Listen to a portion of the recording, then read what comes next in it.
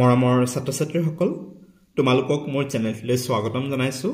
আজিৰ এই ভিডিঅ'টিত তোমালোকৰ অষ্টম শ্ৰেণীৰ গণিত পাঠ্যপুথিৰ এঘাৰ নম্বৰ অধ্যায় পৰিমিতি নামৰ যিটো অধ্যায় আছে সেই অধ্যায়টিৰ অনুশীলনী ইলেভেন পইণ্ট ওৱানৰ অংকবোৰ লৈ আহিছোঁ। আৰু আজিৰ ভিডিঅ'ত তোমালোকৰ অনুশীলনী ইলেভেন পইণ্ট ওৱানৰ এই চাৰি নম্বৰ অংকৰ পৰা কৰিম। ইয়াৰ আগৰ ভিডিঅ'সমূহত এক নম্বৰ দুই নম্বৰ আৰু তিনি নম্বৰ অংক তিনিটা কৰা হৈছে।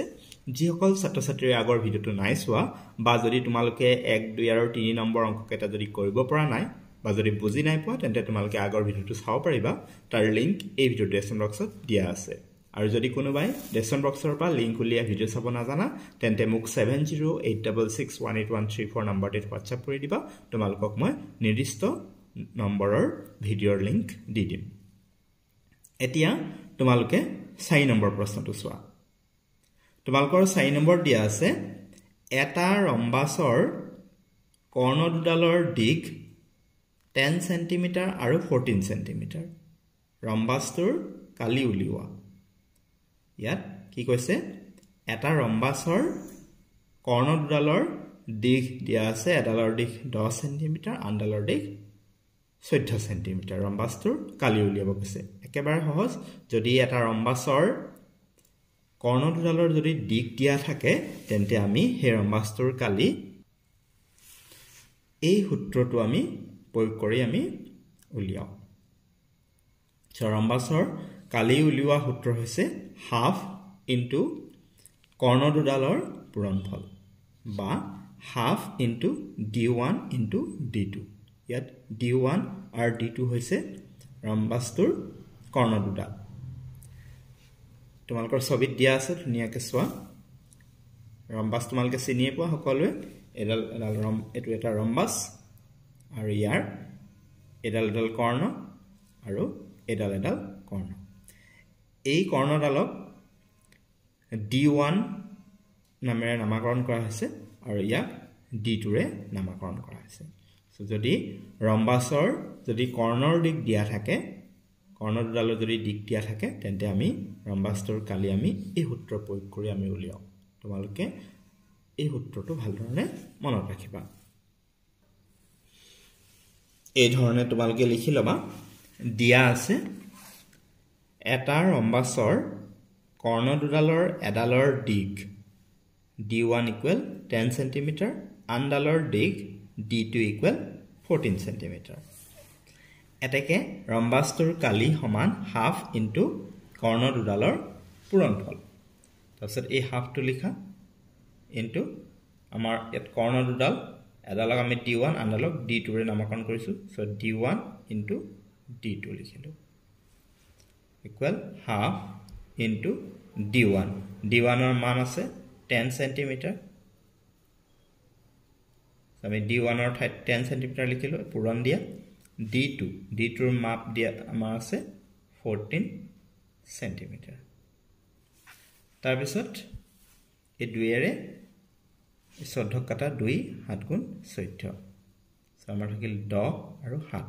দহ সাত গুণ হ'ব আমাৰ সত্তৰ আৰু চেণ্টিমিটাৰ চেণ্টিমিটাৰ আমাৰ হ'ব বৰ্গ চেণ্টিমিটাৰ চ' আমি ৰম্বাছটোৰ কালি পালোঁ ছেভেণ্টি বৰ্গ চেণ্টিমিটাৰ একেবাৰে সহজ। যদি ৰম্বাছৰ কৰ্ণ দুডালৰ যদি দিশ দিয়া থাকে তেন্তে তোমালোকে ৰম্বাছটোৰ কালি এই সূত্ৰটো প্ৰয়োগ কৰি তোমালোকে উলিয়াবা। Half into D one into D two তো হাফ ডি ওৱানৰ ঠাইত কৰ্ণ দুডালৰ এডালৰ দিশ বহাবা। ডি টুত আনডালৰ দিশটো বহুৱাই এনেকৈ কটাকটি কৰিলে তোমালোকে ৰম্বাছটোৰ কালি পাবা। আশা কৰিছোঁ বুজি পাইছা। এইবাৰ পাঁচ নম্বৰটো চোৱা। পাঁচ নম্বৰত দিছে এটা চতুৰ্ভুজৰ কালি হাণ্ড্ৰেড বৰ্গ চেণ্টিমিটাৰ। শাখালম্ব দুডালৰ দৈৰ্ঘ্য ছিক্স চেণ্টিমিটাৰ আৰু ফ'ৰ চেণ্টিমিটাৰ। শাখালম্ব দুডাল লম্ব হোৱা কৰ্ণডালৰ দৈৰ্ঘ্য নিৰ্ণয় কৰা। প্ৰশ্নটো বুজি পাইছানে? ইয়াত এটা চতুৰ্ভুজৰ কালি দিয়া আছে হাণ্ড্ৰেড বৰ্গ চেণ্টিমিটাৰ আৰু সেই চতুৰ্ভুজটোৰ কি দিয়া আছে? শাখালম্ব দুডালৰ দৈৰ্ঘ্য দিয়া আছে এডালৰ দৈৰ্ঘ্য ছিক্স চেণ্টিমিটাৰ আনডালৰ ফ'ৰ চেণ্টিমিটাৰ আৰু এই যি দুডাল শাখালম্বৰ কথা কোৱা হৈছে এই দুডাল শাখালম্ব যিডাল কৰ্ণৰ ওপৰত লম্ব হৈছে সেই কৰ্ণডালৰ দৈৰ্ঘ্য আমাক উলিয়াব কৈছে। তোমালোকে এই ছবিটো চোৱা। এইটো এটা চতুৰ্ভুজ। আৰু এই চতুৰ্ভুজটোৰ এডাল কৰ্ণ। আৰু এই কৰ্ণডালৰ ওপৰত এডাল এডাল শাখালম্ব আৰু এডাল এডাল শাখালম্ব। আৰু আমাৰ প্ৰশ্নটোত চতুৰ্ভুজটোৰ কালি দিয়া আছে। আৰু লগতে এই যি দুডাল শাখালম্ব অৰ্থাৎ এইচ ওৱান এই লম্বডালক এইচ ওৱানেৰে নামাকৰণ কৰা হৈছে এইডালক এইচ টু অৰ্থাৎ এই দুটা শাখালম্ব বা এইচ ওৱান আৰু এইচ টুৰ মান আমাৰ দিয়া আছে। আমাক নিৰ্ণয় কৰিবলৈ দিছে এই কৰ্ণডালৰ দৈৰ্ঘ্য।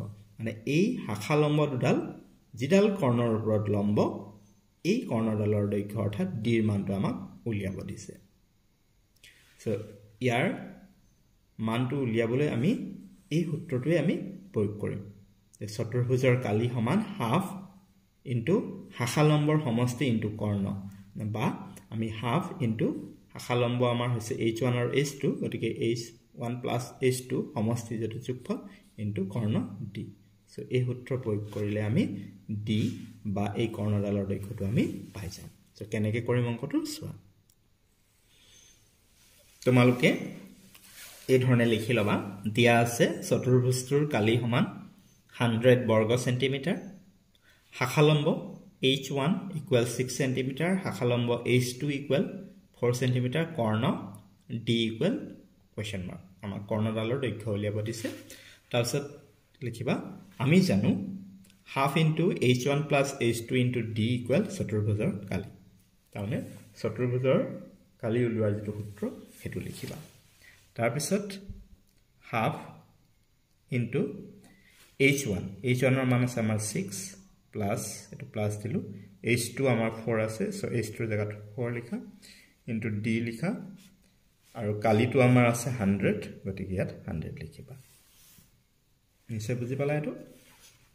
তাৰপিছত হাফ ইনটু এইটো যোগ কৰা ছয় চাৰিয়ে দহ হ'ব টেন ইনটু ডি ইকুৱেল এইটো হাণ্ড্ৰেড তাৰপৰা দুইৰে দহক কাটা দুই পাঁচ গুণ চ' আমাৰ থাকিলে এইটো ফাইভ পাঁচ এক গুণ পাঁচ ইনটু এইটো ডি ইকুৱেল হাণ্ড্ৰেড চ' আমাৰ ডি ইকুৱেল হৈ যাব হাণ্ড্ৰেড আৰু পাঁচটো এইফালে পূৰণ হৈ আছে সোঁফালে গ'লে হৰণ হ'ব। চ' পাঁচেৰে এশক বিছ বাৰ যাব।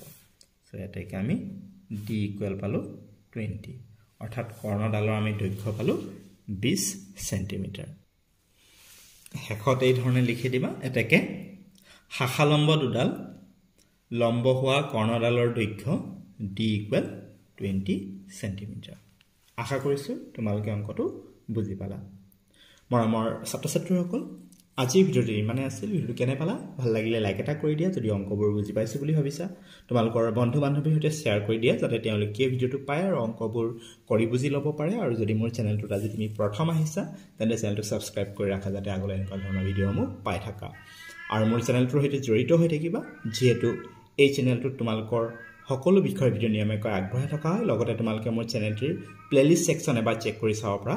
তাত তোমালোকৰ বেলেগ বেলেগ বিষয় প্লে'লিষ্ট ধুনীয়াকৈ কৰা আছে। তোমালোকে নিৰ্দিষ্ট বিষয়ৰ প্লে'লিষ্টত গৈ নিৰ্দিষ্ট পাঠৰ ভিডিঅ' চাই তাৰ পৰা আয়ত্ব কৰি ল'ব পাৰিবা। ক'ৰবাত কিবা অসুবিধা পালে বা বুজি নাপালে তোমালোকে মোক কমেণ্ট বা হোৱাটছআপ যোগে জনাব পাৰা। মোৰ হোৱাটছআপ নম্বৰ হৈছে seven zero' eight double six one eight one three four ইয়াৰ নেক্সট ভিডিঅ'ত এই অনুশীলনীটোৰ বাকী যিখিনি অংক ৰৈ গ'ল সেইখিনি মই তোমালোকৰ বাবে লৈ আহিম। আৰু তাৰ লিংক তোমালোকে এই ডেছক্ৰিপশ্যন বক্সত পাই যাবা। ভিডিঅ'টো চোৱাৰ বাবে ধন্যবাদ